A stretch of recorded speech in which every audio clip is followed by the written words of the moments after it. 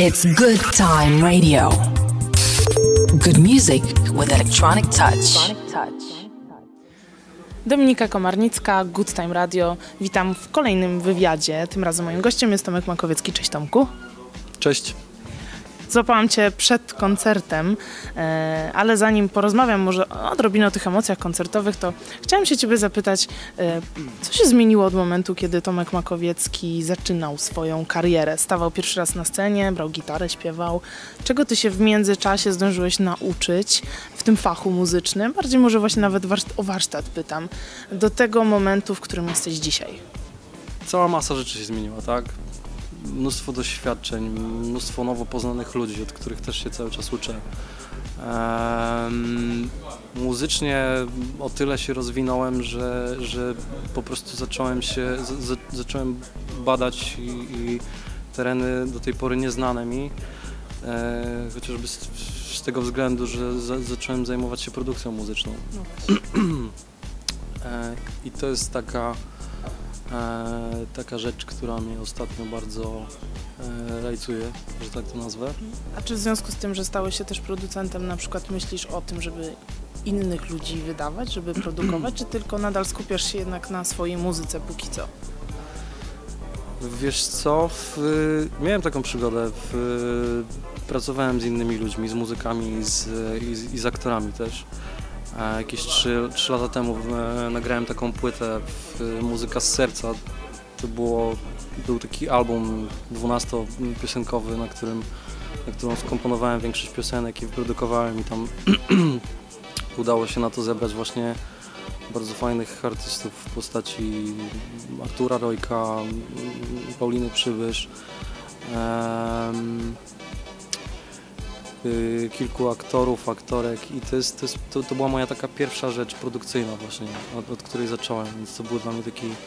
taki Przetarcie szlaku. Przetarcie szlaków. y, Przyznam się, że, że na tej płycie się nauczyłem tak naprawdę wielu rzeczy i e, kontynuowałem to już potem przy swoich projektach. Zastanawiałem się nad tym, czy byłbym w stanie i czy, czy, czy chciałbym e, produkować e, płyty innym artystom, ale chyba, chyba do tego jeszcze nie dorosłem.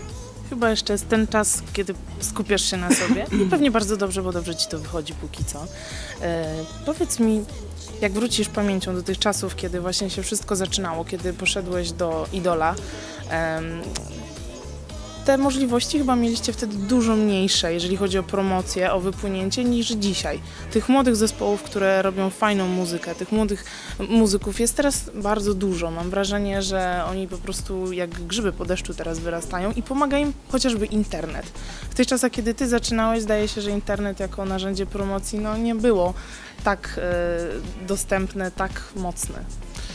No w, w sumie tak, bo to wszystko raczkowało. Myś, myślę, że w momencie, kiedy ja w, wtedy wyszedłem z programu IDOS, to była pierwsza edycja, e, to nawet jeżeli chodzi o, o producentów muzycznych w Polsce, e, to też mam wrażenie, że lata świetlne minęły po prostu, bo, bo, bo dzisiaj naprawdę jest cała masa młodych ludzi, którzy robią świetną muzę. E, w zasadzie możliwości i sprzętowe można naprawdę w każdych warunkach dzisiaj nagrać muzykę, tak? Możesz mieć po prostu komputer, I nie Parę- trzeba mieć wcale do tego wielkich pieniędzy, prawda? I szybko Nie, można no, nabyć te parę, parę umiejętności. sterowników, wiesz, i możesz w kuchni po prostu w domu nagrać płytę.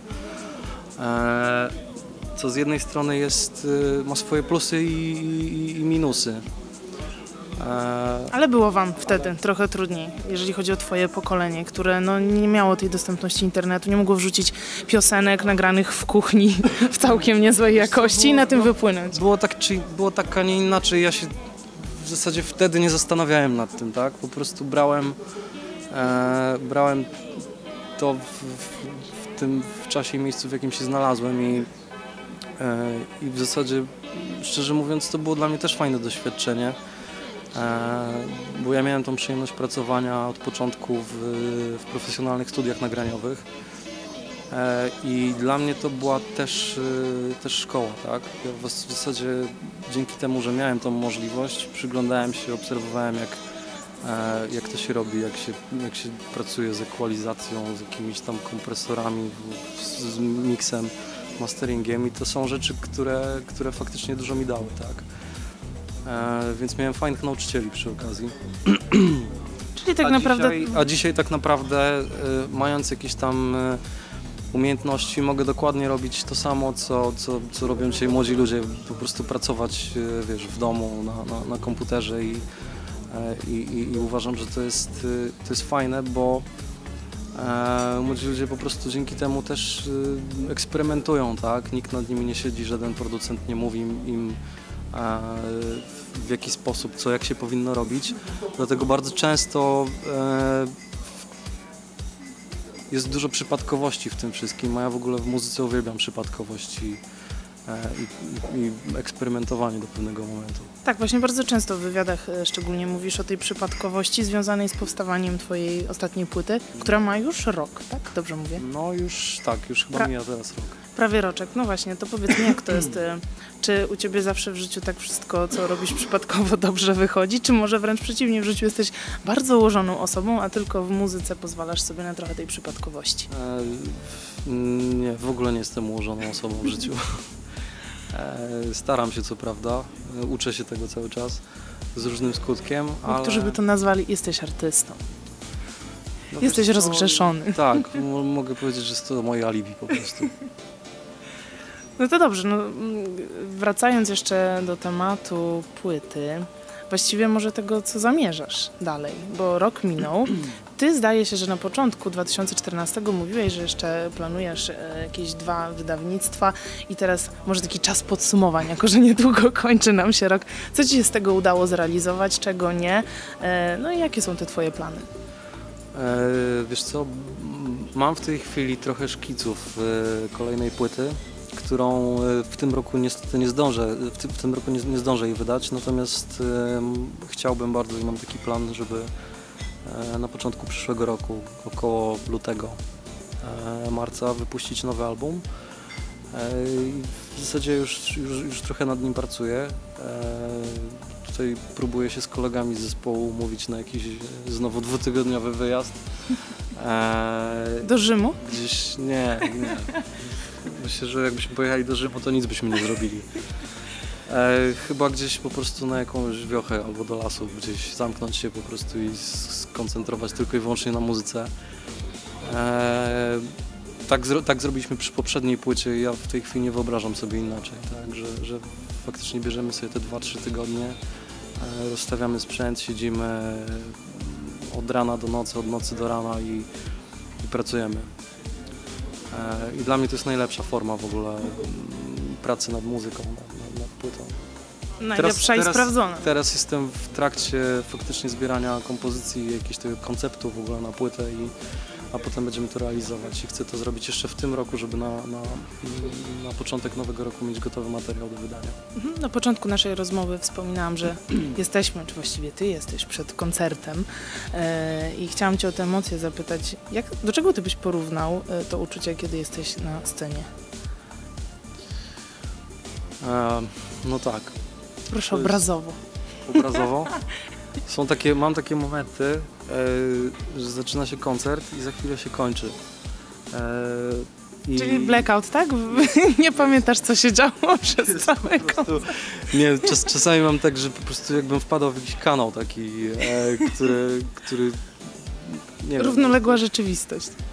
Wiesz co, jak- nasz kolega powiedział, że zapytał się, czy, czy medytujesz, tak? Ja mówię, nie, no ale grasz muzykę, czyli medytujesz. Ja mówię, no, no w zasadzie masz rację, jest to dla mnie pewnego rodzaju medytacja, pe, pewnego rodzaju, e, nie wiem, ja po każdym koncercie, w momencie jak schodzę ze sceny, w ogóle czuję się lżej, czuję się dużo lepszy, lepszym człowiekiem, nie wiem jak to nazwać, ale, ale mm, jest to dla mnie pewnego rodzaju święto za każdym razem.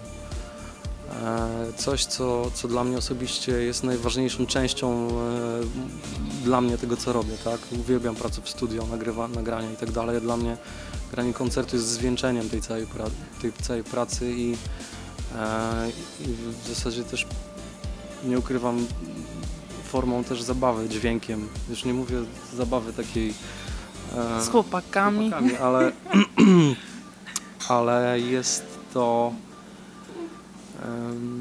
Czekaj, czy wy płyniecie na scenie? Chcesz mi to powiedzieć, że te utwory, które e, znamy z płyty w wersji live na przykład, e, zaczynają się przepoczwarzać i coś innego tam się dzieje? Wiesz co, jest na pewno, jest na pewno y, duża doza improwizacji, e, na którą sobie pozwalamy bardzo chętnie, często.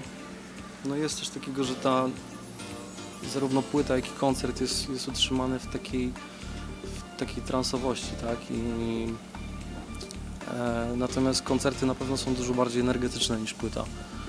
E, jest, jest mocniej, jest, jest energiczniej i e, nie no w zasadzie tutaj, jeżeli chodzi o chłopaków, którzy ze mną grają, to są, to są ludzie, których znam od kilkunastu lat. Znamy się po prostu, wiemy o sobie wszystko. Chyba więcej niż nasze żony. Więc y, oni są jak bracia dla mnie i mamy taki przelot po prostu wspólny na scenie, że, Że po prostu trzeba przyjść na wasz koncert na przykład przyjść. dzisiaj. Trzeba przyjść koniecznie dzisiaj, tym bardziej.